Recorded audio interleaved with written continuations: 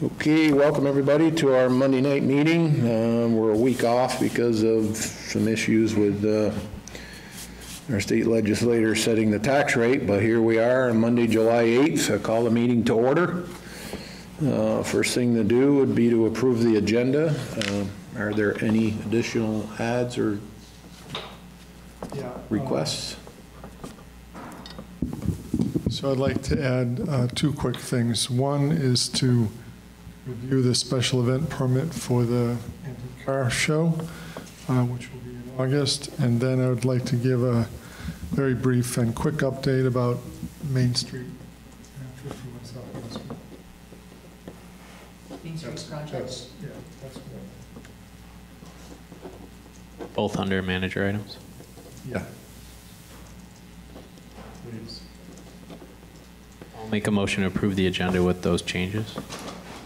Is there a second? Second. Okay, no further discussion? Seeing none, all those in favor say aye. Aye. Aye. Consent, consent agenda items are just the minutes of June 17th meeting.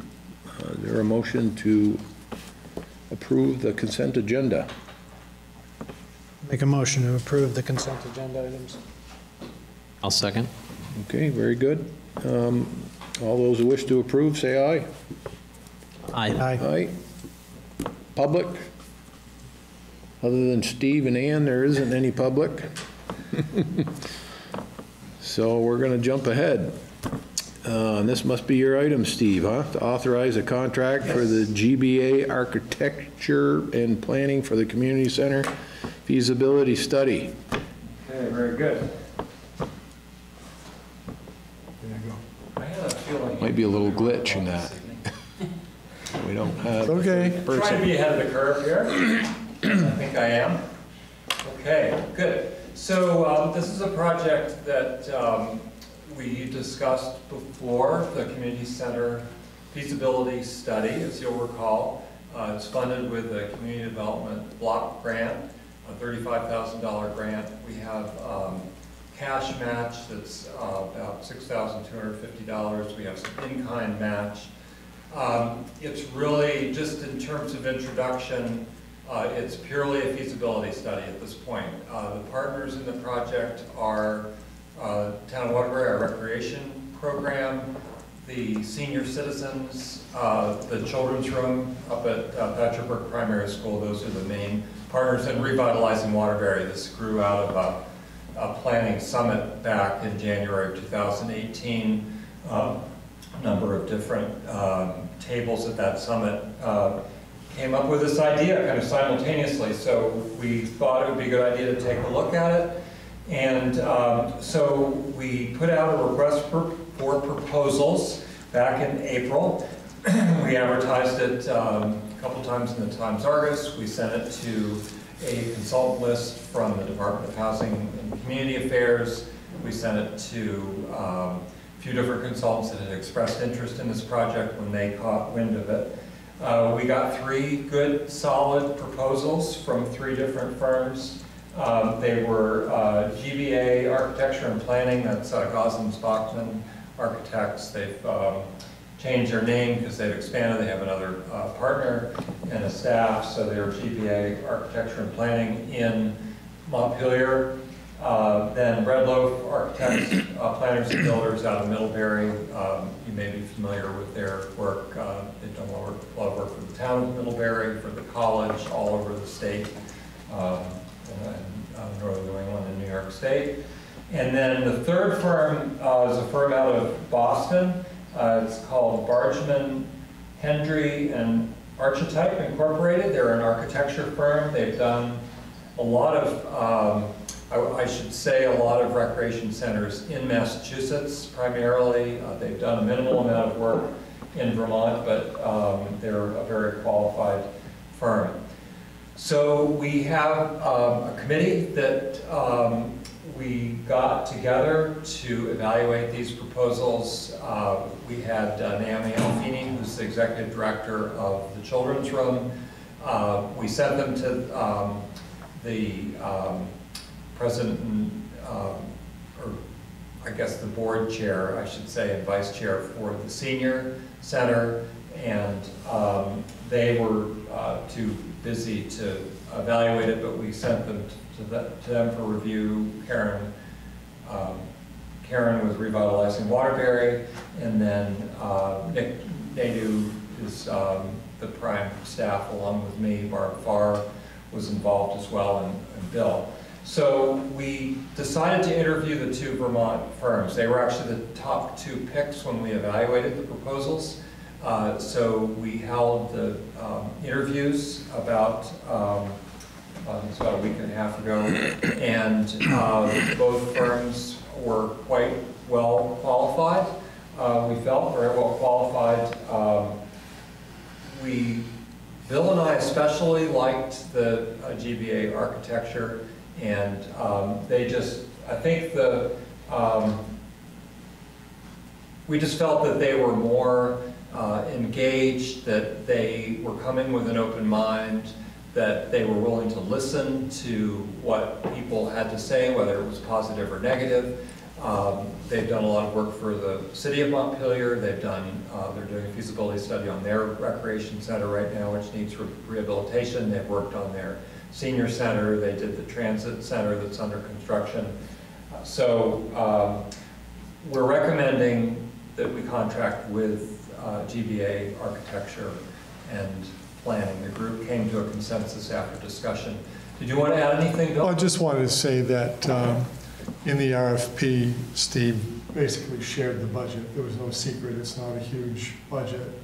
Um, It's mainly grant funded, so all three entities were, were basically speaking to the same budget.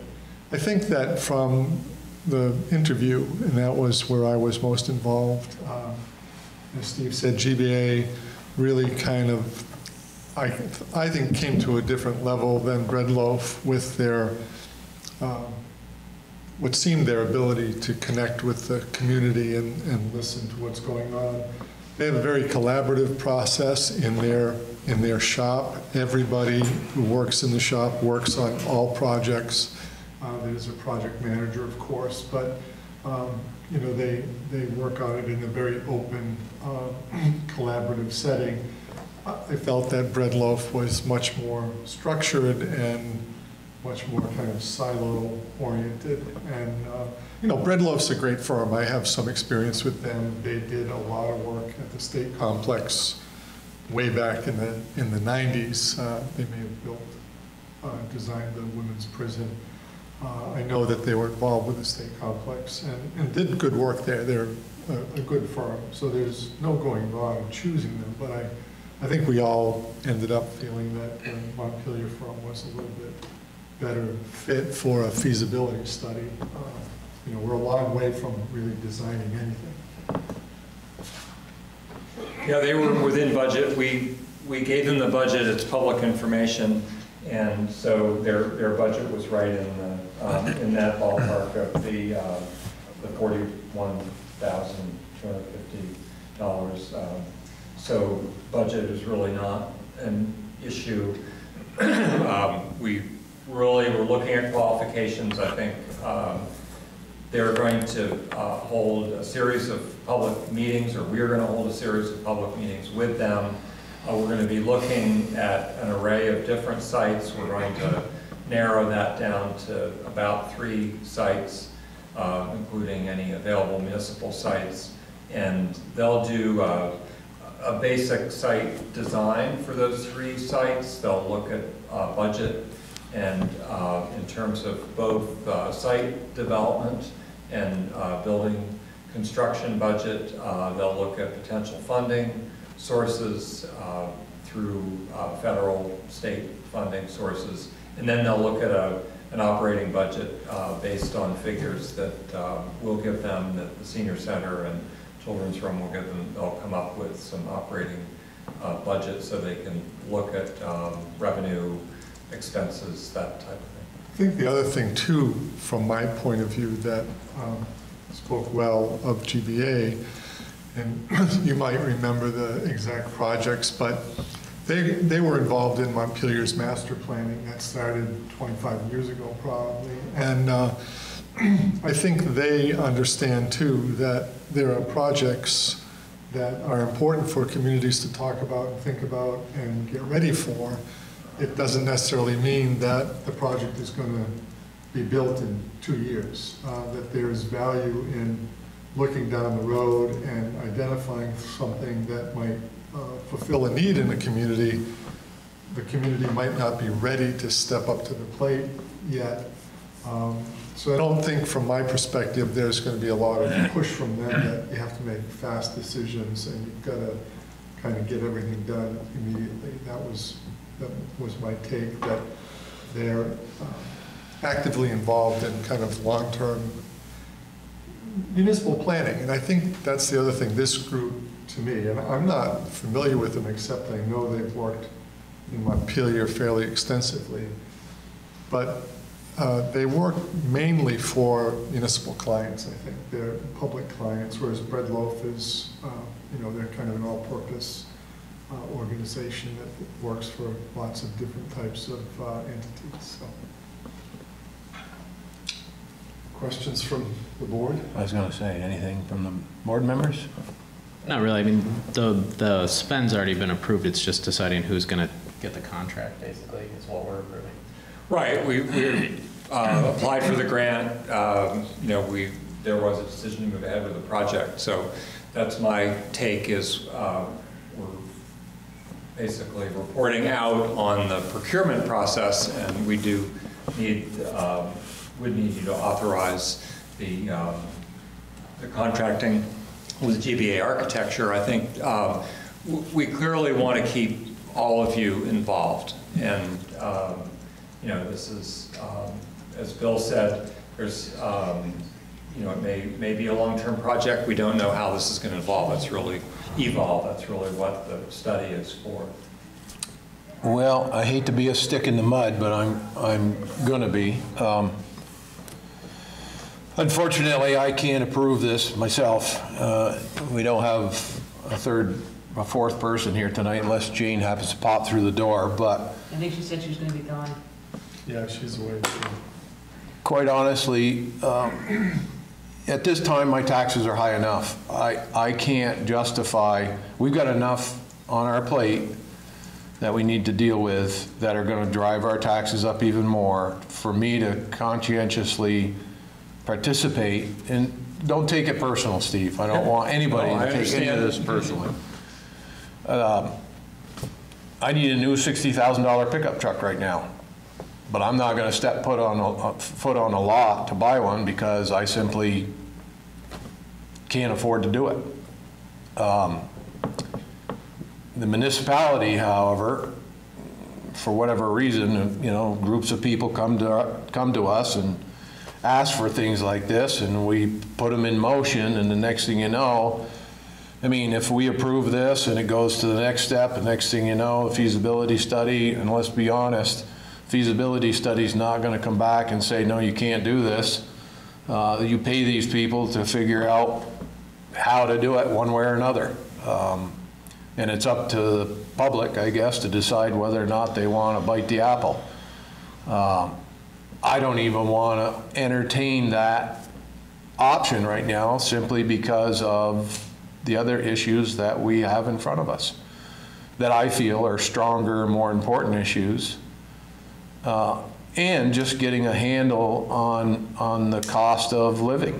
People aren't, you know, we all know well the issues of living in this state and the costs associated with it. Um, so again, I- I'm going to apologize for, for not uh, participating in this effort, but uh, I'm going to stick to my guns, unfortunately. I, I, I hear you, Chris. I think the, and that's why I asked that question earlier, is that the spend's been approved. Um, I think it's an important study because I think part of it is the tie-in with groups like the Children's Room and, and, I mean, you spoke to it a little bit, and I'm not trying to bring that into the play, but like there is a need for, um, childcare services in the area, and I think that potentially that could be part of the discussion here. I think that what we can learn from this, to me, the opportunity to deny any moving forward of the project is to learn from this study and see what the true cost would be, see who the players are, see what that would play, and then make the financial decision on whether or not the needs or it makes sense financially. I, we've already approved the spend. This is the decision on who gets the contract. Um, I mean, if we don't authorize this contract tonight, I think we're just gonna have to put it back on the agenda for the Sure. next meeting, so. Get that. I mean, I, I really, I, I hear you and I, and I, and I agree that we have an affordability problem. Um, But I also think that there are needs this community is looking for, especially in the senior and childcare and just community engagement and space that we don't necessarily have, and I'd like to see what they come up with. I, I, I don't know, I mean, I understand that you say you don't want to approve the contract, but we've already approved the spend, so we'll just have to wait till the next select board meeting, I think, to, to move it through. Sure. I, I mean, I don't know. Again, you, you know, Yeah. everybody has their own choice to do so, but, you know, to say that if this moves forward and they come to us and say, okay, well, you've got this project and here's how you can do it, doesn't need to be, doesn't necessarily mean we, we're gonna do it right now, but if we wait five years down the road, what's the cost then, you know? Uh, And for me, it's, I understand what you're saying, Mark, but when does any community stop digging themselves into a hole? You know, when, when does a community say, we need to be financially responsible and get a handle on what we got right now? Take care of it, get a management plan in place moving forward. That's what we ought to be looking for. Projecting forward, how are we going to handle these other issues that we know we're going to go be back at the table at? Do we have the funding for that? Uh, I mean, I said once before, you talked about federal and state monies that could assist in this. I mean, it's all our money, but federal and state money is just, it's like looking through binoculars backwards. It's, it's further out, you know, it's not, the direct impact is more spread out. Uh, And I said before, from the get-go, if you could guarantee that the taxpayers of this town wouldn't be on the hook for this project, I'd sign it, but, Can I? yeah, sure. So, you know, you've been consistent from day one on this, Chris, and I certainly respect that and understand where you're coming from. And um, I guess, and I, I appreciate the fact that you're in a situation right now where you have to move away from your principle in order to allow something to go forward. It's pretty clear that the board, from the beginning, has supported this project over your objection. Uh, If you vote no tonight, um, you know, I guess if you're going to vote to- no tonight, I'd, I'd rather ask you to just table it and we'll bring it back to a future meeting. Um, And I guess you get to go home and feel like you didn't uh, sell out your position. Um, Looking at the, the last statement you said, and, and I appreciate, you know, taxes. I work hard to try to keep them as low as we can. But over the, over my career, the town, not just the town of Waterbury, but towns in general, are doing more things that they never did before. You know, recreation is a huge part of our budget now. Um, It's also generating uh, revenues that are, it's paying more, more for itself than it ever did. It's, it's not breaking even yet, but we're, we're generating revenues. And measuring the, the value to the community just by how much does the tax cost, uh, I think maybe misses the point a little bit. And again, what Mark kind of stole my thunder. You're talking before the meeting started about families can't find childcare. Um, I'm not saying this is going to be a childcare center and the solution for, you know, 150 families. But it can be part of the solution to some of the issues. And I think the, the feasibility study and what we're trying to do is identify who the potential users or beneficiaries of this system, this uh, facility may be, and then figure out how we pay for it. Nobody gets a free ride, but just to say, if taxes go up, you know, 3 cents because of this, or 10 cents because of this, yeah, there'll be people in the community that feel they get no benefit from it.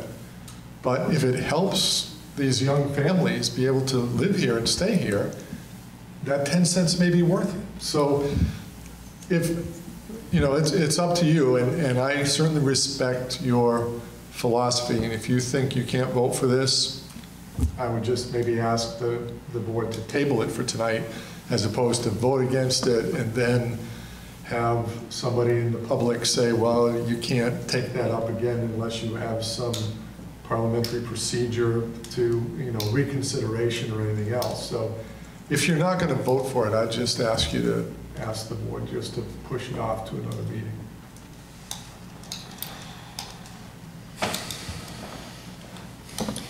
Uh, Can I, uh, is there any example of a feasibility study that Waterbury's done that they didn't actually follow through on a project? And Yeah.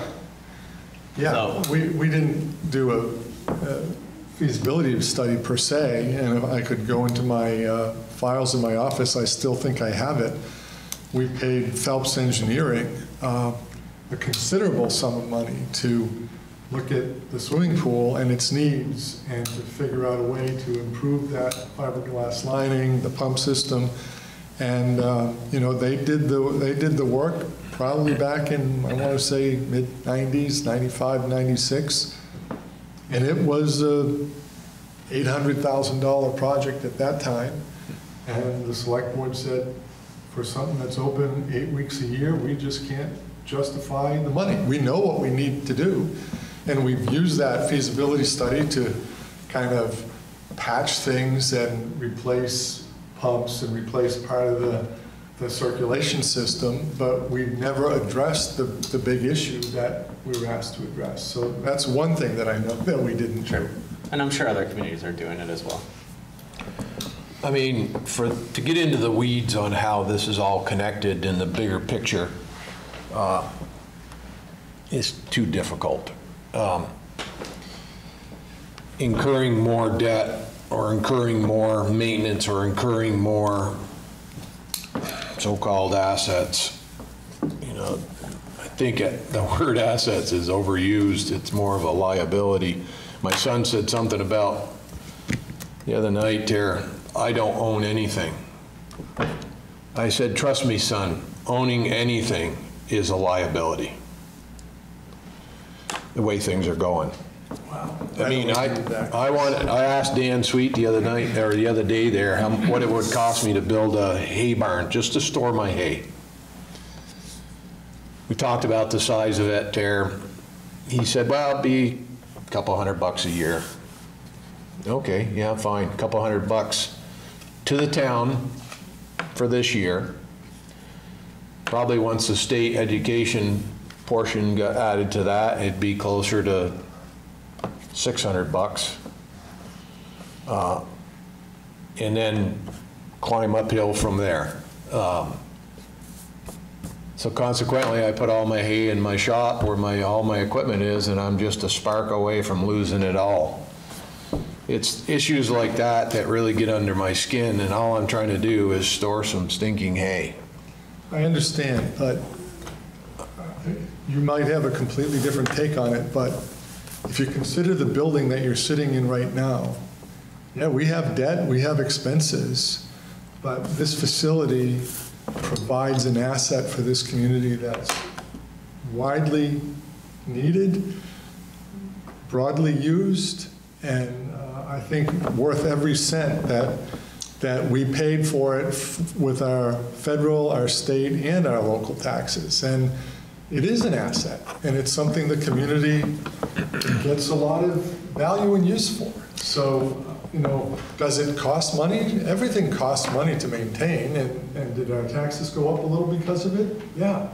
But I think we have a much more functioning facility in town than we had before, so. Absolutely, I don't, I don't disagree with that a bit. Um, Again, you know, the bigger picture, it's not just, you know, this municipality, over the seven years I've been here, I've come to the realization that is run probably as effectively as a person could ask. I mean, yeah, there's some things that could be tweaked a little bit that might help out. Nothing's perfect. Improving, exactly. But I'm saying on a scale of one to 10, we're probably an eight. It's just a minuscule part of the burden that taxpayers are faced with. You know, up here at the State House is a much bigger burden along with the other issues that people have to endure living in the state, the cost of living here. And, you know, one more raindrop in the bucket. I, I don't, yeah, again, I, I got a different view on, on how I see things, I guess. Um, I understand. and I, I, I've seen that it's forcing people out. I've seen that it's making it difficult. uh, Trust me. Within my own household, uh, my family, uh, my mom, every, everybody from, you know. So to just take on one more, and I know it's just one more, but that's it. It's just one more. So I'm not going to belabor this issue. If you're interested in tabling it, we'll do so, and uh, we can move it forward on the next, on the next uh, board meeting. But uh, I'm going to stick to my guns, and I, I'm sorry. You don't have to apologize. No, no, fine. I I certainly understand, Chris. Yeah, I understand. Would somebody just make a motion to move this to the, Yeah, I'll make a motion to table the authorization of the contract. Is there a second? I'll second that. Okay, all those in favor, say aye. Aye. Aye. Okay, thanks. Thank you, Steve.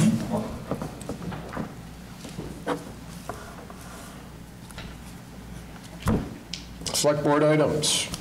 Set the tax rate for 2019. keeping with the theme? Might as well. Can I deny this too? If you could, go ahead. Oh, man, I'm telling you. take one? Oh, I'm sorry, I didn't know there was two there.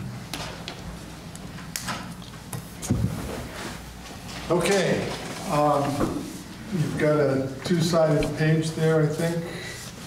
Um, Let me just see this for a second.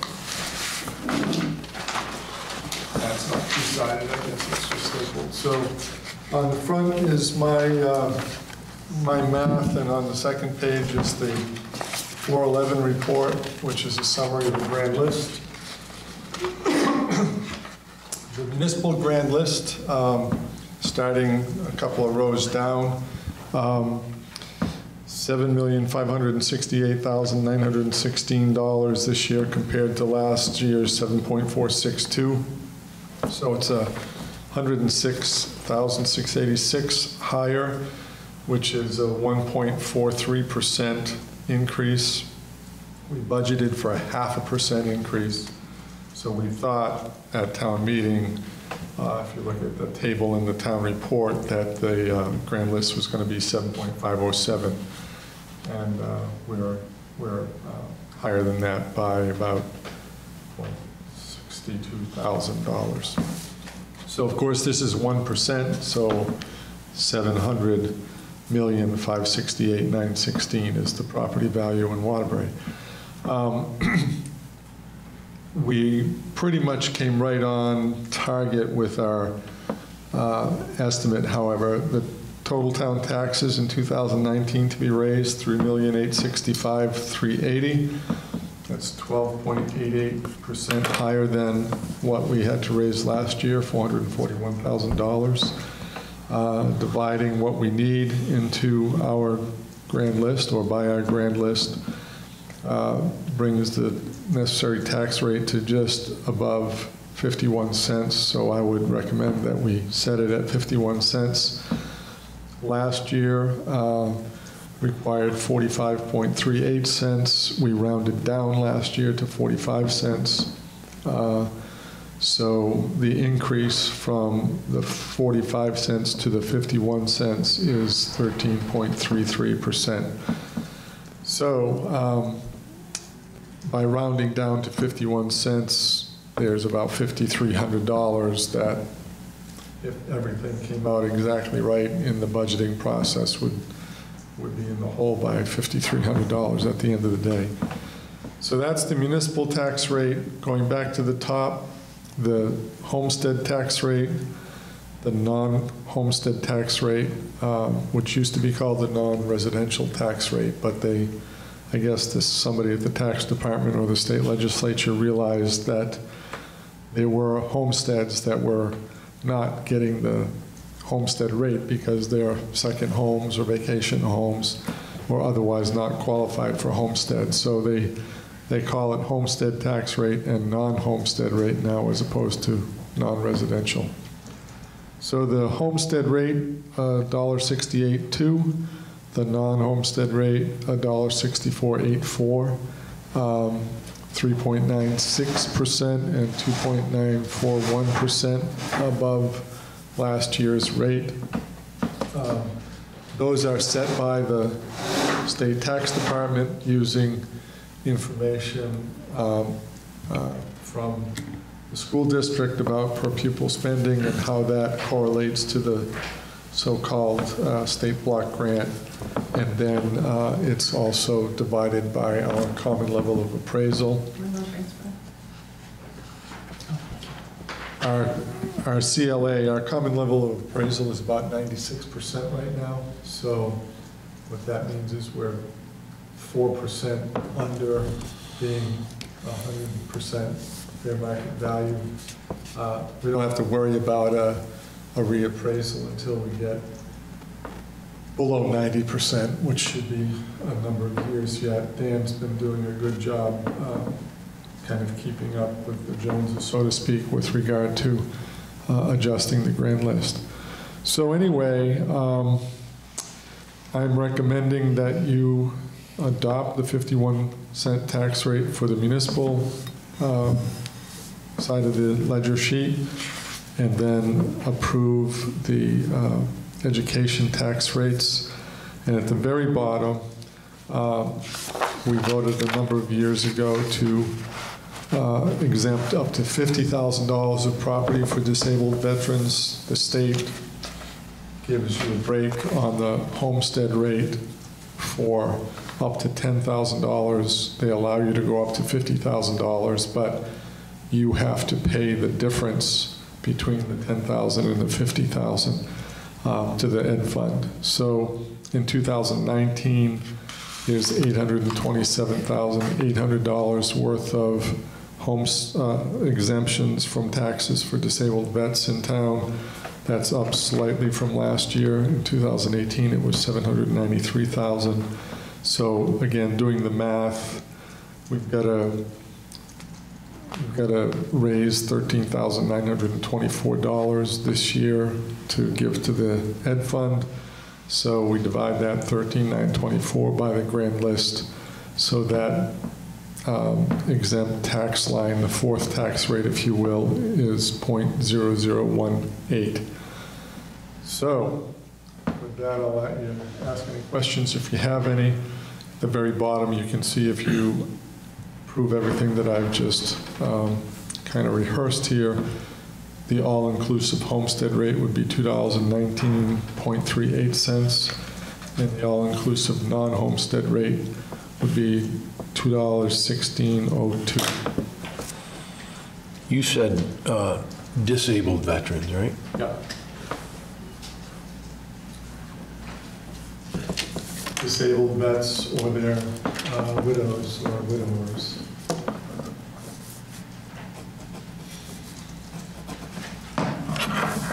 Any questions, board?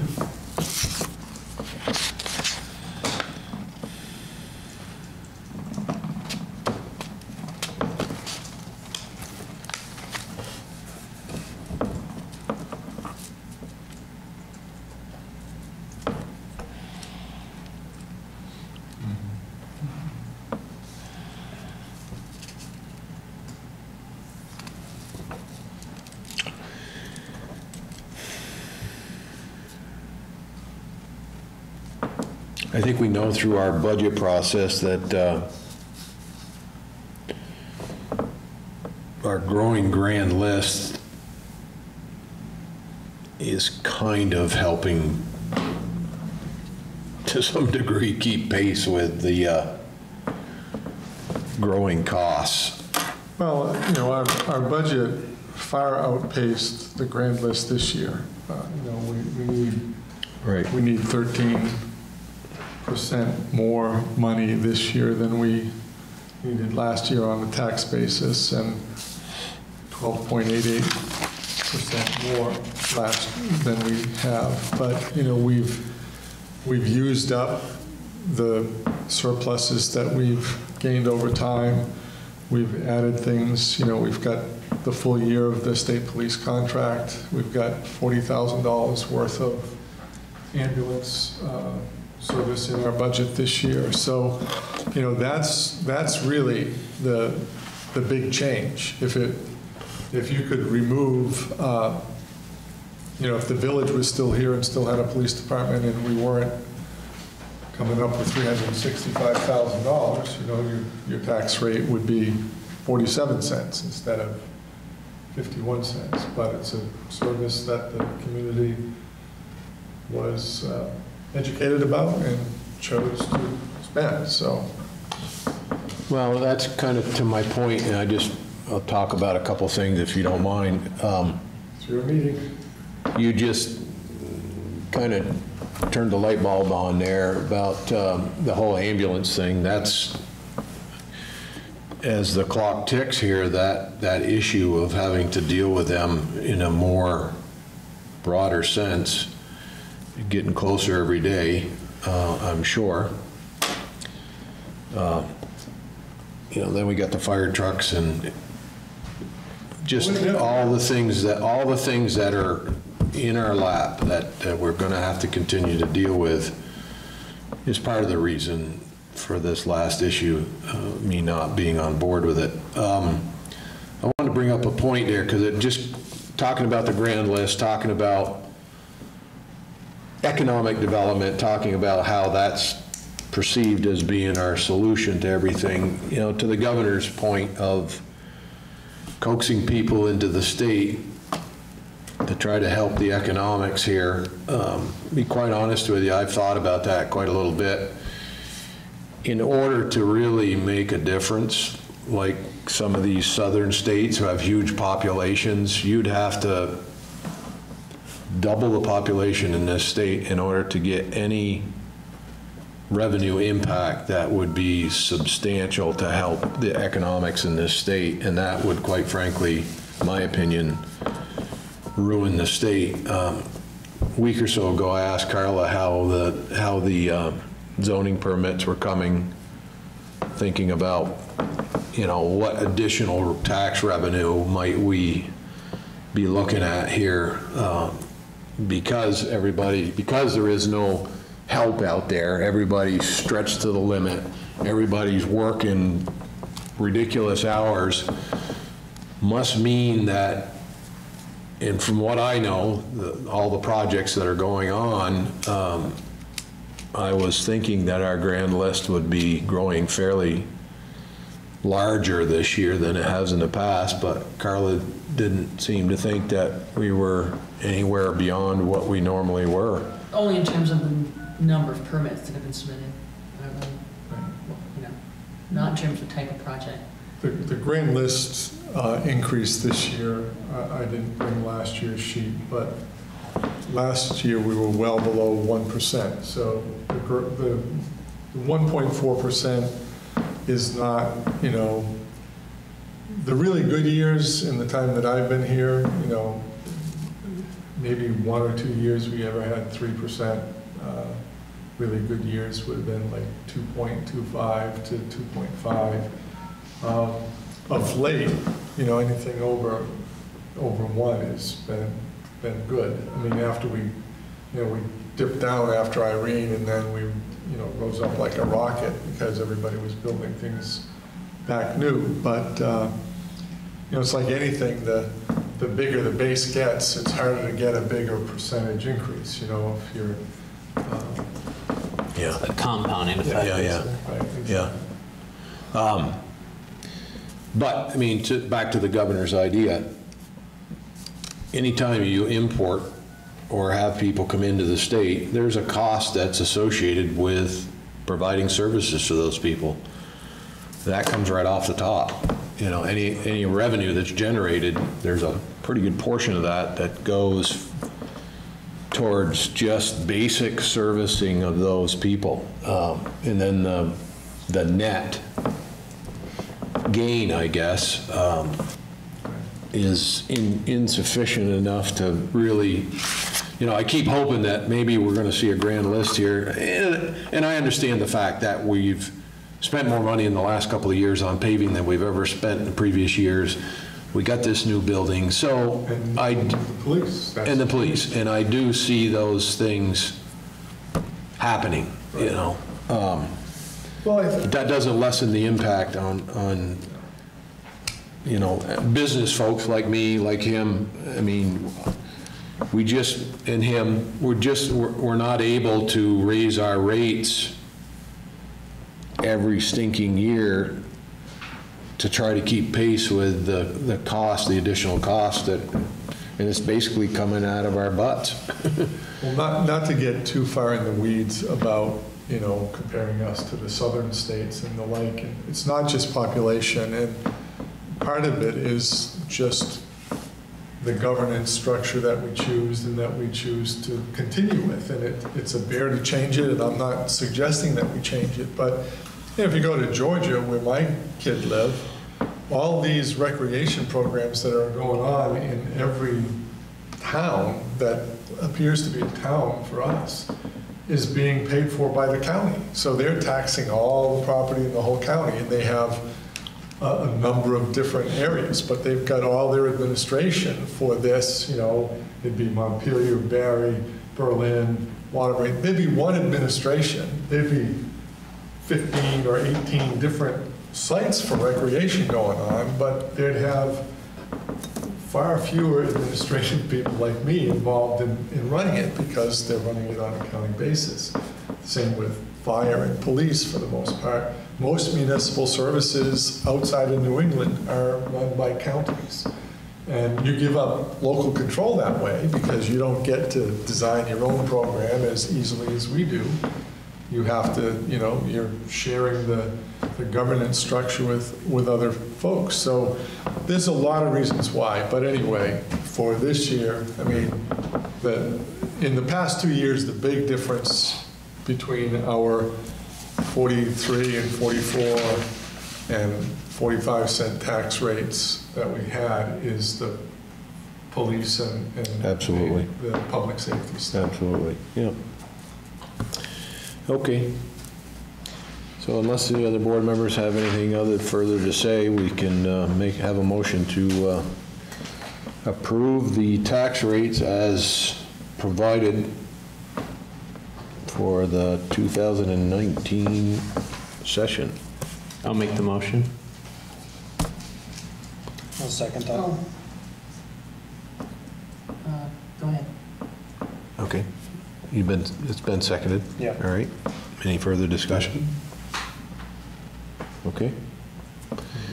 All those who wish to approve, say aye then. Aye. Aye. Thank you, Bill. And- Yep, and in keeping with the uh, tax theme, just to make sure, did Brandon didn't give it to me, I think he gave it to me. Statute? Yeah, he gave it to me, it's here someplace. Um, We've got to set that, uh, the late penalty for not filing homesteads. We go Okay. through this every year. Yeah, yeah. Um, We would recommend that you do what you did last year. Do you have those minutes available? A motion to approve the uh, same, same standards as last year? Same formula? Yeah. So the motion that Mark made last year is right there in bold. Make a motion to set the penalties at 3% and 5% as had been decided a year ago. I'll second. Okay. Any wish to further comment? None? Seeing, um, all those in favor, say aye. Aye. Aye. Thank you.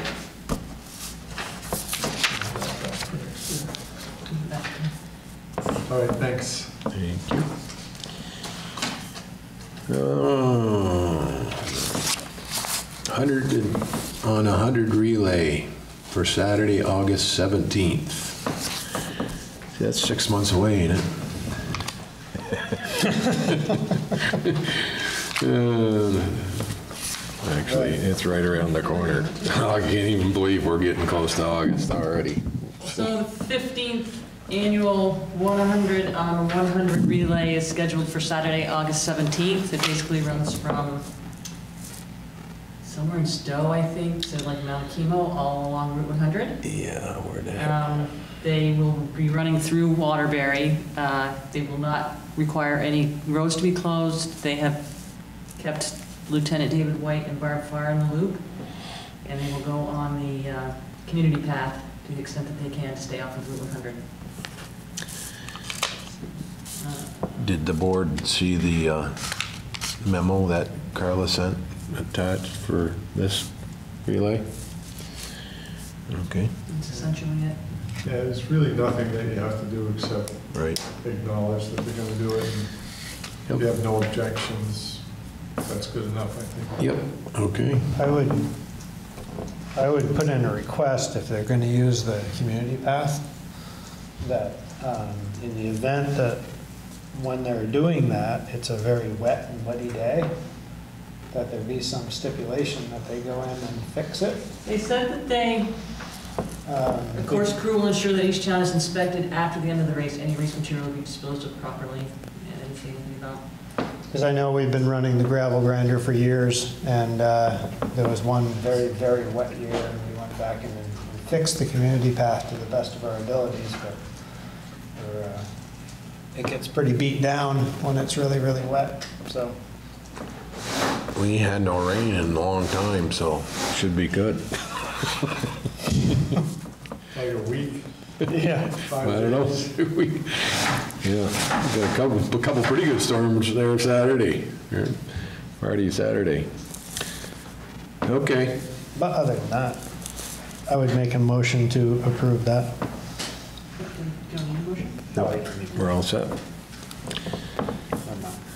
All right, Bill, some manager's items. Okay, um, I'm not going to take any time to review this. Um, This is the 2017, 2017 audit from Sullivan Powers. Uh, Sullivan Powers is the auditing firm. Uh, 17 was the first year that they audited. Uh, All the years prior to that, Bill Yakavoni has done. Um, It's a very thorough audit. Uh, There's a couple of uh, management letters or uh, letters in here that uh, you probably should read. Um, There are a couple of findings. Uh, This is the first time in, um, in a long time that there's been any findings, and I frankly attribute it to the fact that we're just getting used to what they're looking for. Uh, They did make some comments about internal controls, and if you read that letter, you'll find that, you know, management and the auditors didn't have any uh, disagreements. So uh, their, their issue internal controls, I asked them about it. I said, why are we getting a, um, um, uh, a downgrade, not a downgrade, but why are we getting this kind of citation that you're concerned with our internal controls? Explained again how we have a pretty thorough and extensive um, division duties. You know, Carla signs checks, but she, she can't print the checks, uh, reconciling checkbooks. We, we have different people in the organization do different things. Uh, It boils down to the fact that I guess they would like it uh, more clearly written out than we have it. Um, we have a big notebook that Leanne helped us put together that uh, basically uh, explains the whole financial process. Yakavoni helped us put that together. They would like it to be a little bit more wordy than it is, I guess. I'll let them speak for themselves. They're not going to, Sullivan Powers, um, my hope to save time and frankly, I don't want to say pain, but uh, save time and just, uh, I'll leave it at that, save time, have them come in and, and have a discussion about the 2017 and 18 audit when they finish it, rather than have them come in now and just talk about this one, and then have them come in later. So um, the financial statements are in good shape. Um, You know, there's things that they want us to report ourselves uh, more than we did in the past. And uh, I can't, I can't criticize them for it. The GASB standards, you know, the the Government Accounting Standards Bureau, I guess it means. um, You know, we're supposed to keep a record of our fixed assets. Um, Bill Yakavoni did that for us. He took our financial statements, and when we made capital purchases of trucks or uh, did a major construction process, project, or built a building, you know, he worked with me, he took that information from the budgets, and then he created the, he created the, um, the fixed asset um, schedule that we have, and he worked on the depreciation. These folks say, well, the standards say you as the municipality should be keeping those records and doing that. Um, And we've just not done it in the past. So we have worked long and hard this year. We have a schedule of fixed assets now that we've built into our accounting system, the, the, uh, the component, the ability to do it has been there. We've just never used that component of our accounting software. So we are doing that now. Um, I guess it gives a better picture of the, uh, you know, the bottom line of what the assets and liabilities of the municipality are, but knowing that the roundabout is a $6 million asset really doesn't change how we do business at all. Uh, And that it gets depreciated, you know, one-thirty of the, one-thirtieth, thirtieth of it every year gets depreciated. Um, So anyway, there's a few things of note in here. Um, Look it over. Uh, We'll have Sullivan and Powers in after they finish the 18 audit. And you can ask your questions then. Um, And the frustration with me is, and and I, I'm not saying this complaining at all, but um, this transition, unfortunately, just, there's no good time to have a transition from one audit to, to the next, but that it came right when our long-term bookkeeper got done, um, and, you know, we just don't have, as I've mentioned many times before, we don't have the financial departments with the staffing that many of our local neighboring towns do. You know, if you go to Stowe, they've got finance directors, they've got head bookkeepers, they, you know, they've got a, they've probably got a five or six-person finance staff, same with Montpelier. We have Michelle and me and Carla to a lesser degree, and that's not a complaint, it's just a reality. So this stuff has been just taking an inordinate amount of my time, but there's nothing that can be done about it, just gotta, gotta get it done and, and move in that direction, so. Anyway, uh, when you're done with it, if you decide that you are finished and, you know, you want to start a fire with it or something, give it back to us instead. We- We'll keep it on file. Okay.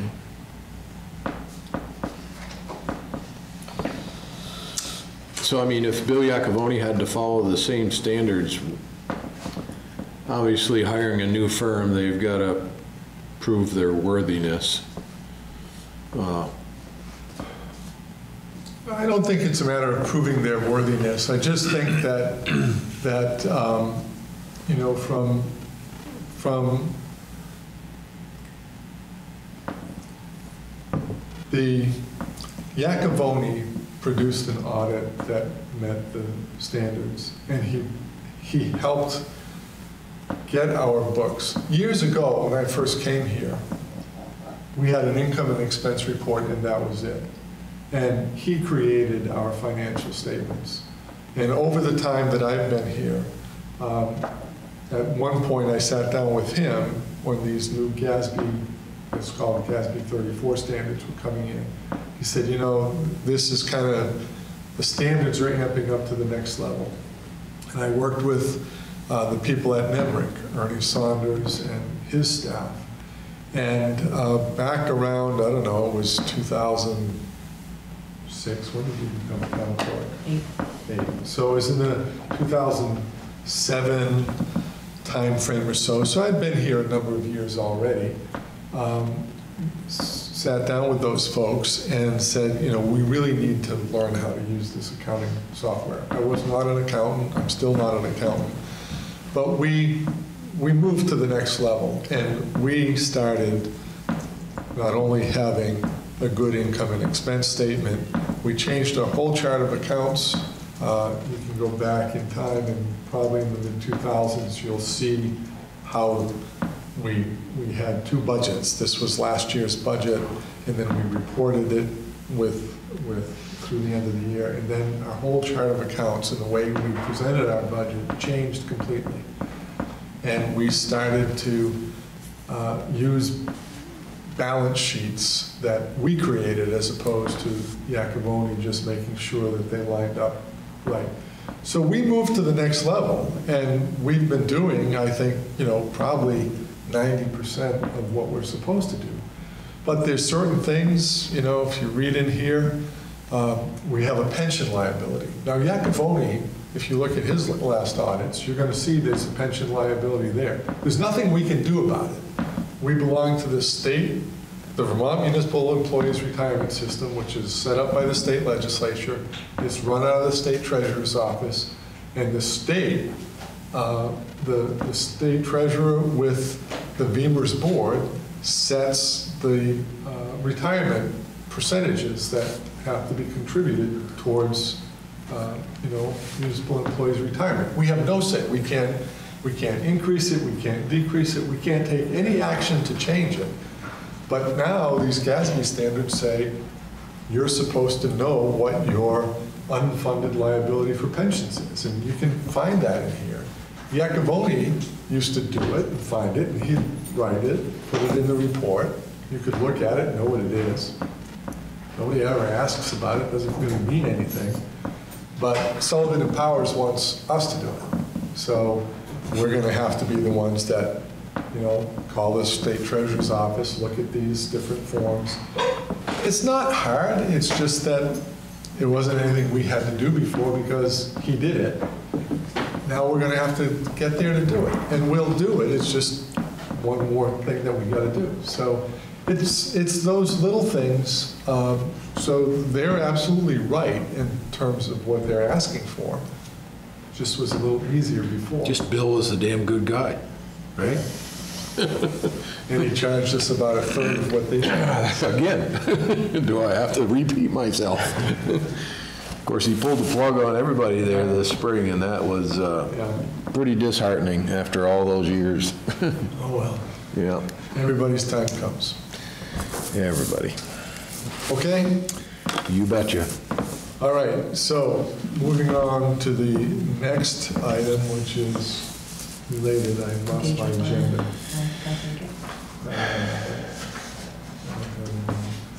Um, So now, I would like you to authorize me to sign the engagement letter for the 2018 audit. Uh, We have started um, gathering information and, you know, uh, doing calculations that they want us to do. Um, It's a, it's a long letter. Um, It goes on for six or eight pages, maybe. Eight, nine pages. Basically outlines their scope of service and what they expect us to do, um, and then what they're going to do. And then it has the price, which is the price they quoted a year ago when they bid on the project, uh, $22,000 for 2018, which was the same price as it was for 17. And then I think next year will go up by $1,000 for the next three years. It was a five-year agreement. So anyway, um, you can read the letter if you want. I can send it to you electronically if you're interested. It's really pretty good. Um, But I would ask you to authorize me to sign the uh, engagement letter with Sullivan Powers for the 2018 audit. So moved. Oh, sorry. Okay, nope. Second. Quick and easy. Uh, Is there any further questions? All those in favor, say aye. Aye. Aye. Aye. Thanks. Review of Vermont State Police Report.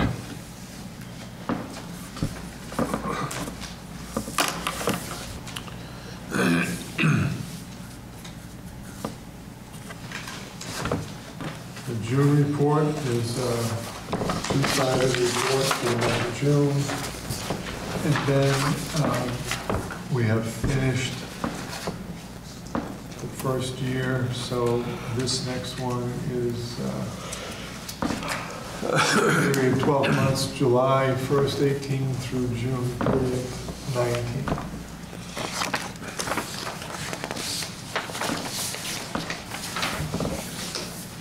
Um, Looking at the June uh, 2019 report, uh, first, uh, pretty straightforward, uh, very similar to what the last few months have looked like. And you'll notice when you look at the report for the 12-month period, um, most of the percentages are uh, similar. Um, Traffic incidents are up.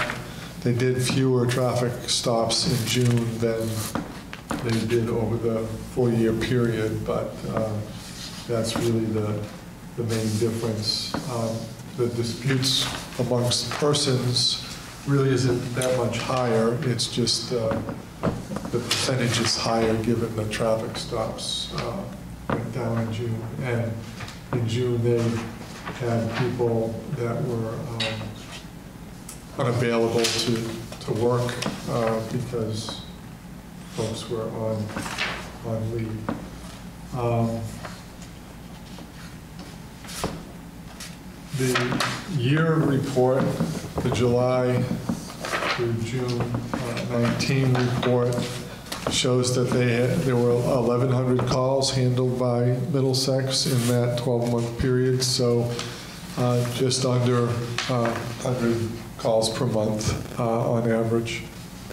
Um, And 54% of the calls, of those 100, uh, 1,100 calls were taken by the two resident troopers that we're paying for, 46% by the Middlesex barracks uh, who are not our assigned troopers. Um, You can see on the uh, graph on page three that um, most of the time, uh, you know, they're looking in the 300 plus, to 300 to 350 hours per month. Um, You know, 80 hours a week times four weeks would be, what, 32, I mean, 320 hours.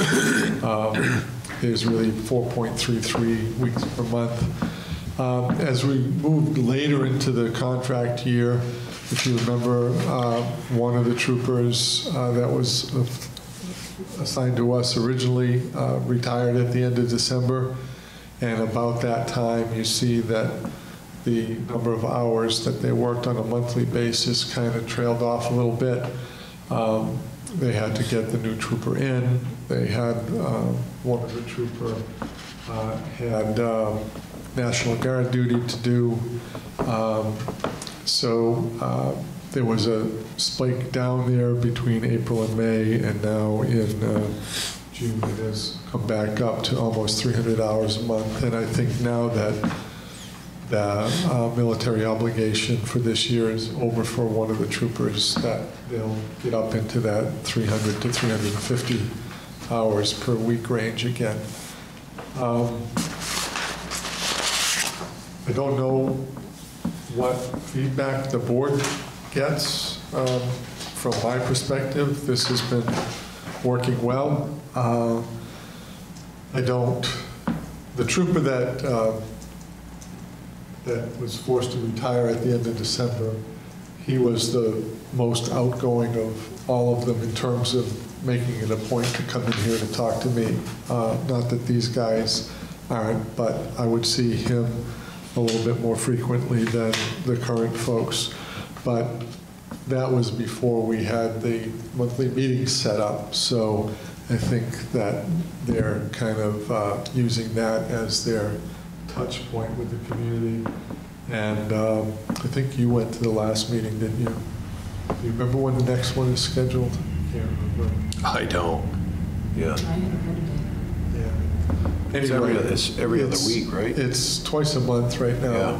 On a Thursday night, oh, no, they moved it to Wednesdays now, I think, because of the concerts on Thursday. Um, I've, I've had a couple of people tell me, yeah, we, we never see them out there. Uh, You know, I don't think that we're getting our money's worth because I just don't see them. But, you know, I, some weeks I don't see them at all, but other weeks I see them fairly regularly. I saw somebody stopped on Upton Road the other day, so I know, I know they're out there. so.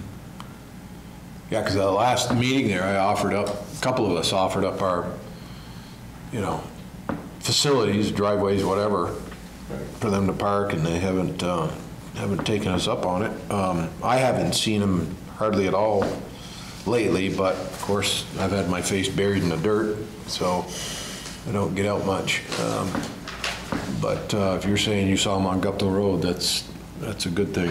Um, I do know that uh, up by the town shed is still, can be a hot spot. Um, I was coming down through the other day and a Canadian vehicle was coming through there a pretty good clip. And I said, where's the police when you need them? But other than that, I mean. we On haven't had on a any- quick side we note, haven't had what any what happened with complaints, those so- flash? I remember we approved the, uh, the speed flashing. Yeah, they're, the, we've filed all that paperwork with the state, and now I'm just gonna wait for Wait. them Yep. to come up and, and do that work. And uh, whether it will be this year or next is still not completely known. But we, we did put all that stuff in and gave the approval. So it looks like in June, you know, they had 106 calls, 15% were traffic incidents. You know, so that's only a little more than 15 uh, stops in the month. So either people are being religious or they're not, happen to be where the traffic incidents are. I mean, as far as the nighttime issue, I mean, you're more of a night owl than the rest of us because of your businesses, but how is that? I mean, has it been working fine for you so far? Yeah, yeah, I am, seems like. No complaints, huh? I see them around, um, but yeah, no complaints so far. And Frankly, I'm, I'm shocked that there hasn't been more, um, more, uh, people stopped for speeding considering all the side roads people are taking to get around Main Street. Um, I know the sheriff has been out on River Road quite a bit. Um, and I've, I've seen two or three people pulled over out there because River Road has turned into a racetrack. Um, And people are, people are taking all, every side street they can and coming around the horseshoe and, um, but no, I, overall, I, I think they've been doing a great job. I think some of it too, the word gets around that they're setting up speed traps because for a while there they were on. I've seen them on Stowe Street quite a bit actually, and then Guptill as well by uh, the post office. You know, a couple tickets get thrown out in town, and a couple more people get pulled over for speeding, and I think the word spreads that I didn't, I there's didn't sheriff in town. That's what they call a deterrent, right? Didn't notice this when I was looking, you know, the June graph shows um, 106 calls, and it says traffic incidents 15%, so what's that? That's a little more than 15. Right.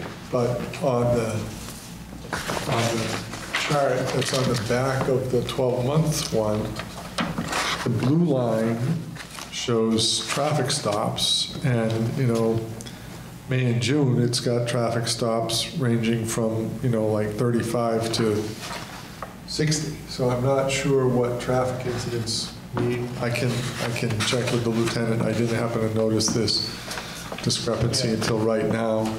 But looking at that, you know, they're showing that um, traffic stops are, it looks like the high month was, you know, about 118 last August, and the low month was about 35. Um, And then you can see the blue line is the stops, uh, the orange line is motor vehicle complaints, so I I assume that's people calling about a complaint. The gray line is tickets issued, and the yellow line is warnings issued. So um, I'll, I'll talk to Lieutenant White to try to get a little bit more clarity, but um, we'll let you know, we'll try to remind ourselves when that next meeting is and let you know. Did, was there any general public there, Chris? I know the night that I was, Yeah, there the have last one there was, I ended up having a meeting for Wednesday, and I had the E-Fund meeting that night, so I couldn't. been, there was, uh, I think, 10 of us there, a couple, a couple different people than from before, but, uh, Okay, thanks.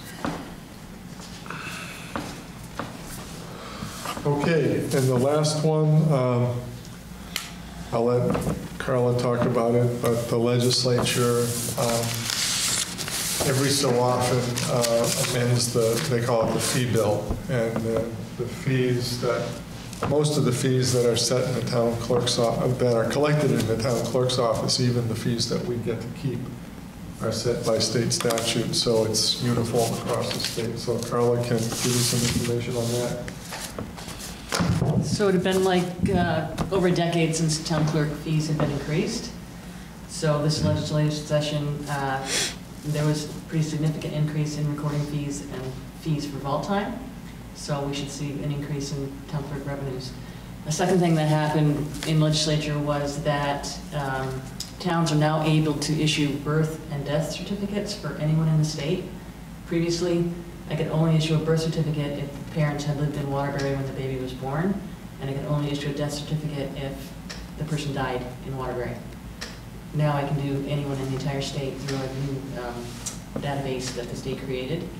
So that means like Chris Palermo can come in and get d- death certificates, which he does quite often for any of the communities that he's serving, instead of having going to go to each of those communities. So there'll be a So we'll because all, because it all, it all just gets added to the standard data sheet for the entire state, that way. There's a new, it's called a Vital Records Information Management System. We had death records, access to death records on that system. Now we have access to birth records. You just have to type in the person's name, date of death, date of birth, up pops a certificate, and you can make a certified copy. Cool. So what, what were the recording fees and what are they now? The recording fees were 10, now they're 15. The recording fee for a property transfer tax return was 15. No, that was 10, and now it's 15. The recording fee for a Mylar was 15, and I was 25. Vault time was $2 an hour for researchers, now it's 4. And we get to, and the town gets to keep all of that. Mhm. We have to put a certain amount of it aside for restoration. Right, restoration. part of the We do that Yeah, already. part of the legislation was at least $4 of any recording fee has to be put in a restoration digitization, digitization fund. We were previously putting in 3, Like a maintenance fund. yeah, to maintain the records. Yep. Good. Just to let you know. Any questions? All right, that, you got the antique car show and the Main Street update as well? Yeah, so the Antique Car Show is going to be held Friday, August 9th through Sunday, August 11th. Uh, The main event is going to be at Farr's Field on Route 2, as it was last year. Um, They will have a um, uh, party, street dance, whatever you want to call it, from 4 to 9 o'clock on Saturday, the 10th, at the train station using both Rotarian Place and Rusty Parker Park. Uh, And then they will have Saturday afternoon from 3:30 to 5:30, uh, the uh, the parade. Uh, I'm not sure, but the route's in here somewhere. I don't, if you want me to find it, I can. Um, They have filed all the information that they need to uh, do this. Uh, The only thing that I can see that they don't have yet is the um, public events permit from the Department of Public Safety. If you're going to have more than 2,000 people, you need a state permit. They have applied for it, all that paperwork is in. So uh, they have sent a check for $25 for us, which is our events fee. Um, And um, I would ask that you approve the issuance of the special event permit for the Vermont Antique Classic Car Meet, sponsored by the Vermont Automobile Enthusiasts Incorporated, uh, with the uh, condition that the public safety permit from the state arrives. Are they doing a parade again? Yes. And is it the same route? I remember there was a lot of conversation because of the roundabout. I can't remember how it actually went last year. They came through the roundabout, up Union Street, over Railroad Street, then over Park Row, and then back down Main Street. So I'm not sure what the route is this year. Is that the same weekend as the Arts Fest? No, No, Arts Fest is this week. This weekend. This weekend? Yeah. I think it'll be right up Main Street. Was the was the Fourth of July festival the one that we were talking about maybe changing the location to actually on Park Row or what was? Remember we were talking about the whole issue with the one ways and yeah, they, uh, they ended up Here it is, Bill. using, they ended up using um, Rotarian Way, and they put a, they just put a barricade up and kept one, one lane open. and Okay. They had flag people there, worked out fine. Um, The parade route, up Route 2 to the roundabout, down Main Street, then Park Row, Rotarian Place, Park Street, and then Main Street back to the roundabout. So they're, they're carving off the Union Street, Railroad Street part of the route. They're just gonna come up Main Street, go around the park, and go back down. that's good because then you don't have to try to take a left on Union. Right. Yeah. They're hoping for 20 to 25,000 attendees. Wow. So they're, And they're hoping to have 300 cars in the parade. They didn't come close to that many people last year, I don't think. so then it was a fairly good success then last year? They were happy with it. Yeah. Uh, I know they came in, um, you know, a week or so afterwards, and they did a kind of a critique and what they'd do differently and everything else. But they, they seemed happy, and we're glad to have them. Good.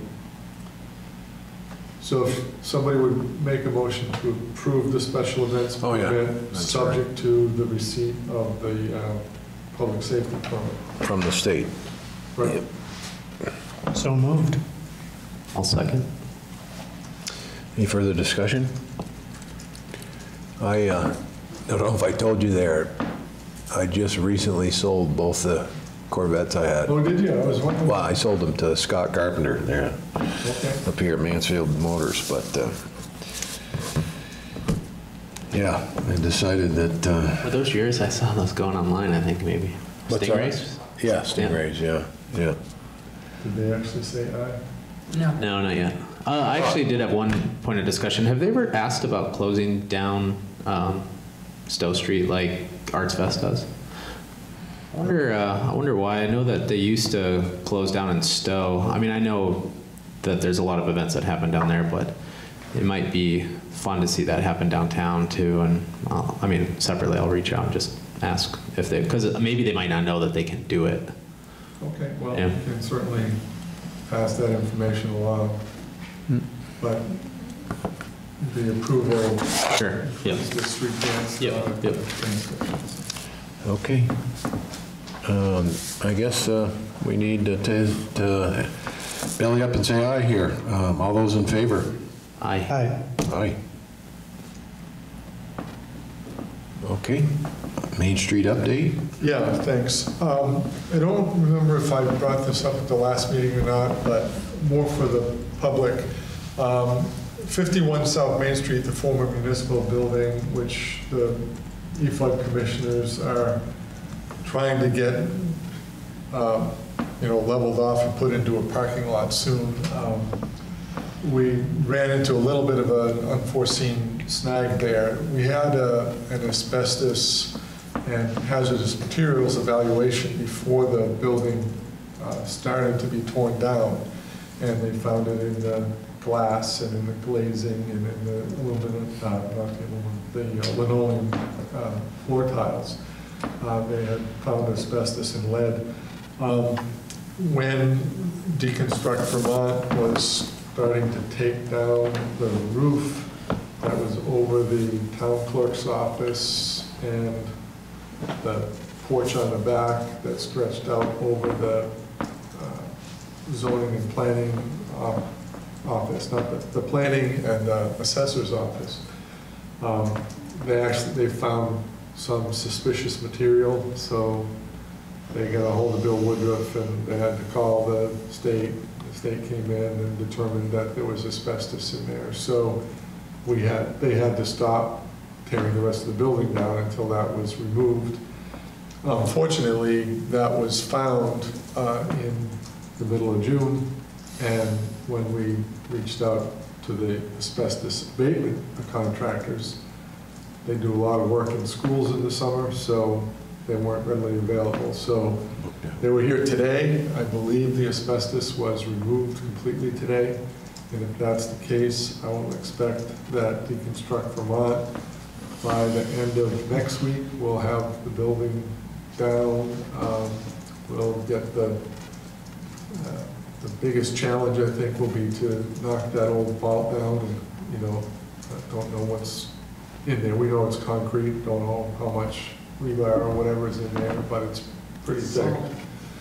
So um, we're hoping by the end of next week that that lot will be, the building will be completely gone, the lot will be leveled, and it will be available for uh, parking to replace uh, spots being lost on Main Street. There's a meeting here tomorrow morning at 9 o'clock where the town and Jay McDonald and V-Trans will be meeting with uh, business folks who have been invited. Um, The critical path for McDonald is the sewer, the the sewer line. They've got to get that done. Um, And, you know, the deepest area is from right of the Prohibition Pig. Uh, That's everything from the south end flows to that point, then out uh, Elm Street down into the, behind the cemetery, and then it gets, uh, flows over to the pump station, and then gets pumped down there, and then from uh, Mark's building, his building right now, the sewage flows to Elm Street, but when the project is done, from his building this way, that will flow down North Main Street. I come down Main. Right now, Yeah. I go down my parking lot. I'm the only line on it all the way to a sewer right in front of Propig. right, you come out on Main Street, but what I'm saying is, that when the new project is done, your sewage will not flow down to Propig and out Elm Street. Oh, Your right. sewage is gonna flow this way down Main Street. Ah, okay. Turds will be taking a left, not a right. Right. So anyway, I like um, the pitch. and, uh, Shorter distance. we, we have, we have been uh, working with the public and businesses in particular to talk about, you know, where this project is going to be and when. And um, if you remember McDonald, when they bid on the project, the state had the project starting at the roundabout and basically parading down Main Street four times in two years. Uh, And McDonald said, we don't want to do that. state. They wanted to start at segments three and four at the south end, do all that work, and then they were planning to be up into the Pro Pig area sometime mid-August is what uh, we had thought.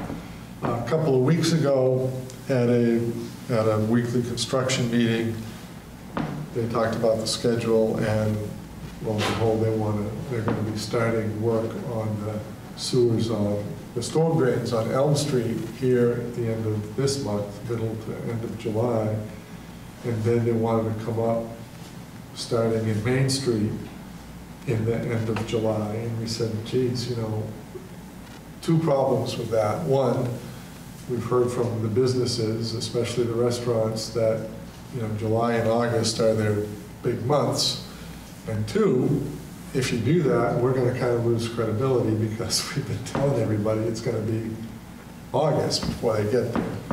So uh, they went back to the drawing board, and uh, we'll have a meeting tomorrow. I don't know if you're coming. Yeah, I'll but, come. um, And you'll get more information about this, but um, they've sought a compromise, and, and we're going to honor it. So when they finish the storm drain work, which is on Randall and Elm, and then they have to start work on the sewers in segment two, which is right there in front of, segment two goes from, I think, Stowe Street to um, uh, Park, Rusty Parker Park is segment two. Uh, Rather than come all the way back to Elm Street and start, they're going to start at Foundry Street in front of the municipal building and work south. So they, they will eventually have to get back into Main Street in front of the Pro Pig, but it will be, it will be later in the summer or early fall. They'll start at uh, 51 South Main, and that's one of the reasons why we're trying to, you know, get this asbestos thing out of the way to get that building out and be able to use that for parking. So you'll hear more details tomorrow, but that's kind of the game plan for right now.